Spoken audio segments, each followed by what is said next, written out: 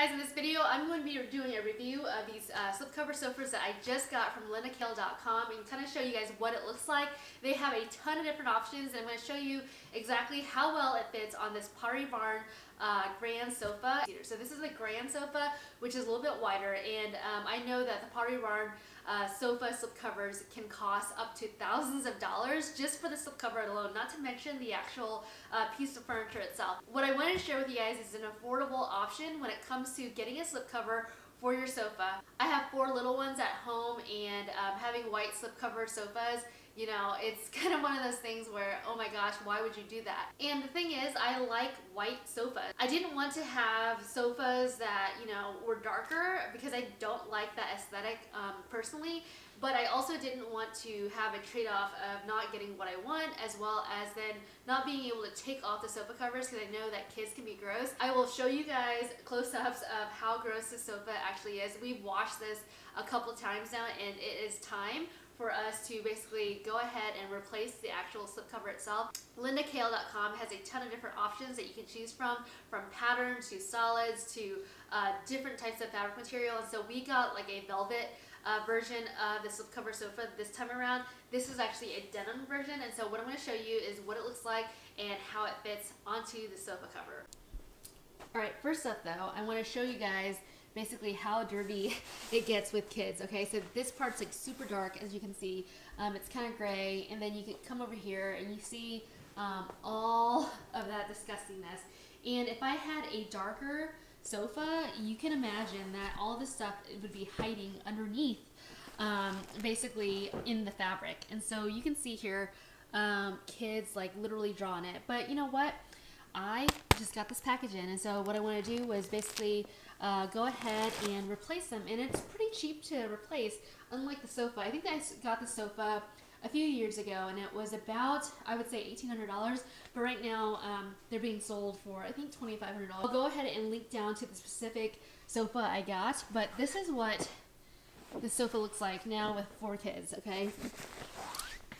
Okay, so you guys can see all the different stains. And so every maybe three or four years, I'll go ahead and replace the sofa slipcover.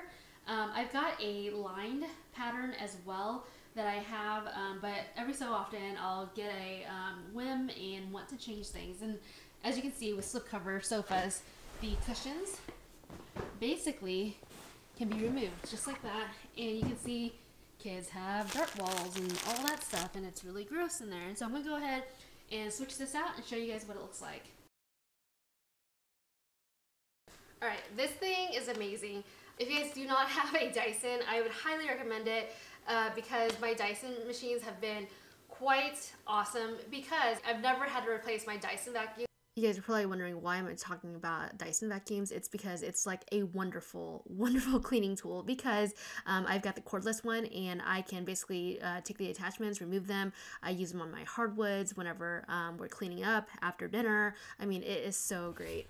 In addition, I've had several vacuums before the Dyson I've always had to replace them every single year. And the Dyson's been amazing, especially for the sofa um, and cleaning up after it. So I'm to go ahead and open this up so that you guys can see what that looks like.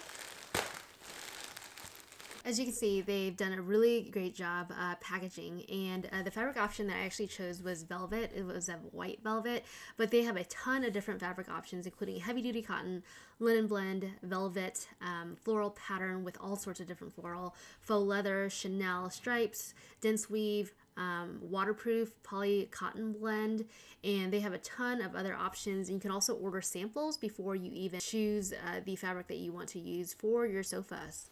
All right, so what I want to share with you guys is the detail on this. See how the trim is? They've got like the little piping on there, so that's like attention to detail, right? And it's super soft. Um, I'll go ahead and link down to the fabric that I, um, they've used, and it looks like a very, very, really good high quality zipper that they're using. And then you can see inside, like the seams look absolutely awesome. And they've uh, done a serger around it. Oftentimes, whenever you see like people making cushions, they won't actually serge around it. So that's like the attention to detail right there. Okay, and so I'm gonna go ahead and put the cushions on there so that you guys can see what that looks like. Okay, one thing. This is the old cushion. You see how it's like torn? So this is like the quality of, I guess, the Pottery Barn version. So, I mean, my kids actually jump on our sofas a lot. So this is not no fault of Pottery Barns, but this is more of like, this is what my kids see. You see that pink? Yeah. So um, I don't expect that they won't tear up the sofa, but what I do expect to, is at least have a cleaner uh, sofa cushion whenever we're sitting down. So the goal is to at least uh, replace it so it doesn't look too uh, gross. And so it's cheap enough that so it's cheap enough that I can just replace them. Let's talk about my kids and white sofas for a minute. I know a lot of you guys are like, oh my gosh, why are you still paying like $300 for replacing just the slip covers? Well, first of all, I don't want to dispose of another sofa. I want to be able to clean my sofa so that if I needed to clean it or if I needed to, you know, replace the covers, I could without having to figure out how to sell the old sofa and get a new sofa delivered. This is like the easiest way to have the best of both worlds where I'm not disposing of a frame, I'm just disposing of the cover itself. Um, I have thought about actually making my own sofa covers, but it just takes too much time, and I really don't have time uh, with the amount of uh, things that I'm working on, including this blog, as well as running a household and also running a full time career. So um, this is like the next next best thing, basically, to getting a new sofa. It's just replacing the sofa cushions, which is great. I have had uh, the inkling of wanting to get like a um, uh, basically a sectional in this space, but I feel like my space is way too small to get a sectional. And then I don't I haven't found a lot of sectionals that have slipcover sofas, so that's one reason why I haven't gotten a sectional. But that is one of my things um, that's on my dream list of things to get once the kids are a bit older and um, wiser in terms of not having to eat on the sofa.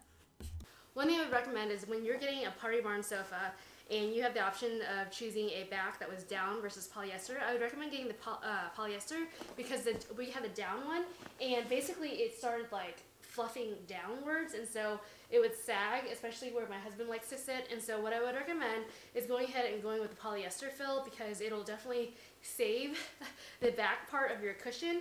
And we actually got it redone uh, by a upholsterer.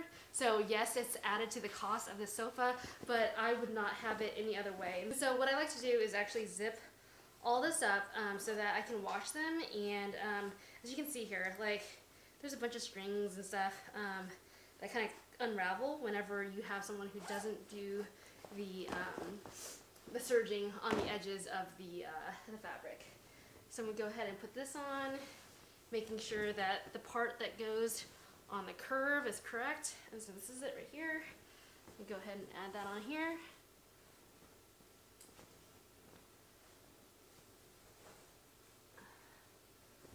This slipcover fits so well. Um, whenever I put it on, I knew that they had the Velcro on the side where the arms are. If you can see right where the arms are, there is usually like velvet, not velvet, sorry, Velcro that is underneath like the arm so that it holds like the arm um, area together. Also, the areas where you want to make sure that um, the slipcover uh, actually fits really well is on the edges of that uh, seat. So if you look at the top edge of the seat, you want to make sure that that fits really well as well as the front. So being being able to kind of um, tuck in the backside of the slipcover as well as allowing that slipcover to kind of like, you know, like hang uh, close to the floor but not touching the floor because obviously you don't want to get it all dirty and stuff. But overall, um, this uh, slipcover sofa by Linda Kale uh, fits perfectly uh, for my slipcover sofa from Pottery Barn. I hope you guys enjoyed uh, watching me put together my sofa again.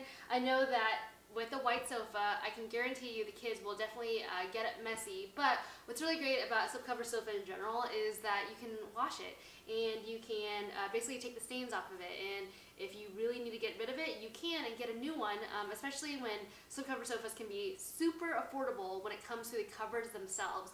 There are people that actually specialize in creating slipcover sofas for those brands. What I've done in the past is go to Facebook Marketplace or Craigslist and actually buy a sofa secondhand that has like the Pottery Barn frame or the IKEA frame and go ahead and replace the cover that was purchased with it and buy a brand new one so it's fresh uh, for my house. That's what I would recommend to you guys. Um, I know there are a lot of different options for sofas out there, but with kids and all that, um, I tend to veer towards having a slipcover sofa uh, just because I can wash it. And you guys know how gross kids can be. And so uh, what's really great is now I have a brand new slipcover sofa on this couch. If you guys want to do a comparison between um, IKEA versus Pottery Barn sofas, go ahead and check out my next video where I kind of show you guys how an IKEA cheap cover actually fits on top of a Pottery Barn frame, which is pretty unusual but pretty awesome at the same time.